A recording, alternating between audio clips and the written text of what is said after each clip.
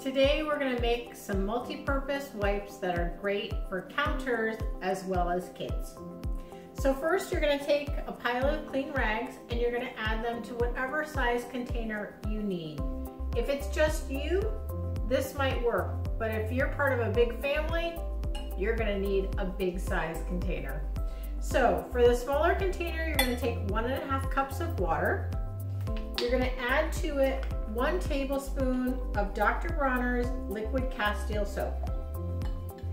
Mix that around. And then you're gonna also add a quarter teaspoon of tea tree oil. This will work as your disinfectant. Give that one more stir and then simply pour this over the towels that are in your jar.